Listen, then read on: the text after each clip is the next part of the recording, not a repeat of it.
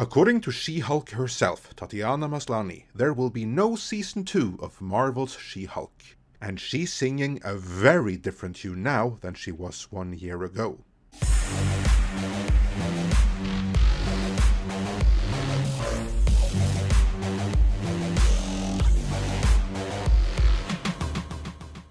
This comes to us from the ever reliable John F. Trent over at That Park Place.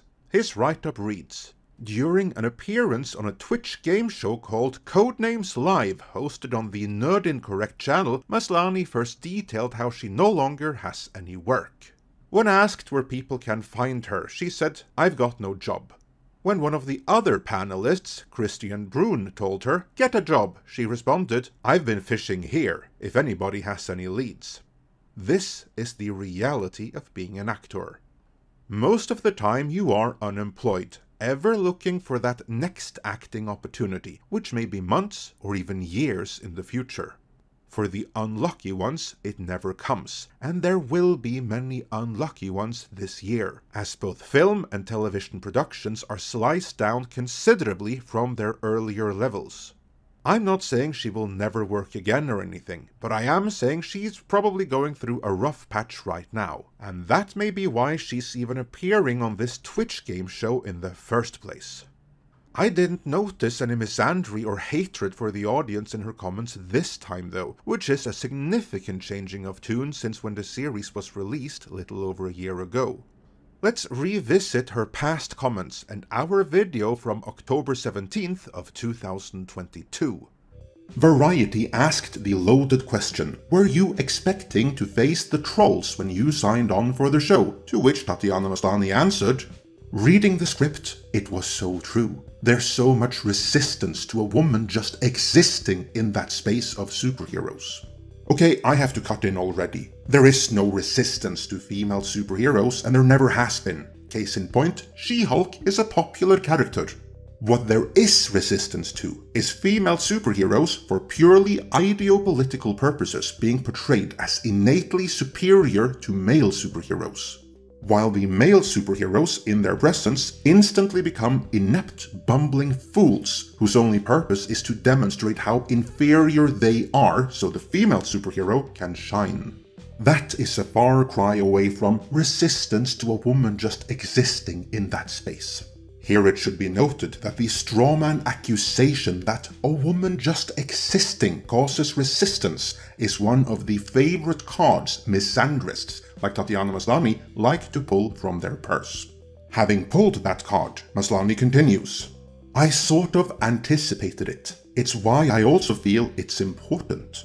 There's such an entitlement to space held by certain people, and to even exist as She-Hulk is like a fuck you, and I love that. Well, I hope she enjoyed that thrill while it lasted, because it may be over now. Let's return to today and that Park Place write-up. She was then asked, should we hope for a season 2 of She-Hulk Attorney at Law? Maslany responded, I don't think so. I think we blew our budget and Disney was like, no thanks. Maslany's comments are not unheard of. She was previously asked by Extra TV what the chances were for a second season in October. She answered, I mean, I don't think so, yet. Kevin in the scene seems to be very dismissive of the idea, so if we're basing this off the real Kevin, then it doesn't seem likely. But he was also, I think, just trying to get rid of Jen at that point, because she was asking too many questions. I don't know. If I could be coy and have some little secret, I would do that, but I really don't know. I don't know anything. This is also true.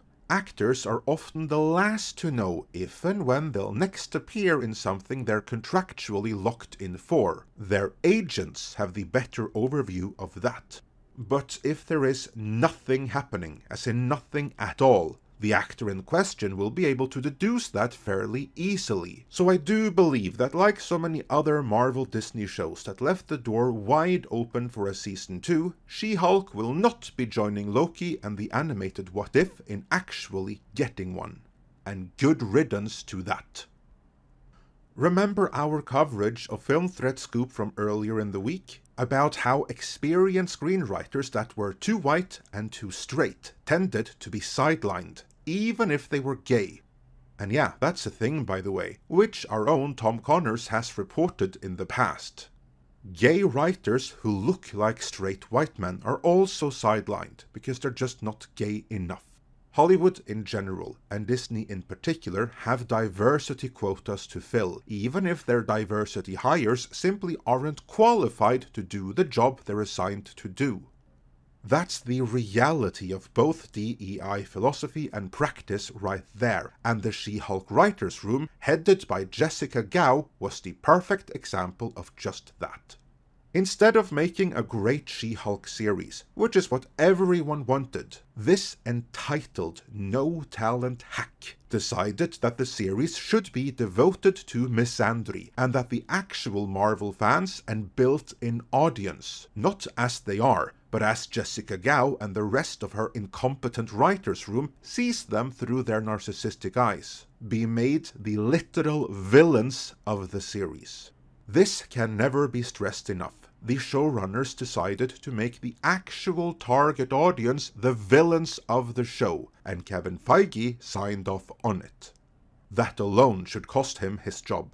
On the bright side, though, that there is no season 2 suggests that he realized that where they went in season 1 might not have been the best of ideas. Too bad he didn't realize that before they completely and utterly ruined the character of She Hulk. But will Kevin Feige have learned the right lessons from She-Hulk going forward? Or will he find a way to greenlight new and equally big mistakes in the next batch of series or movies headed up by incompetents that have been promoted beyond their skill level? Also, would you even like to see She-Hulk or the Hulk's depressed emo son ever again? Let me know in the comments.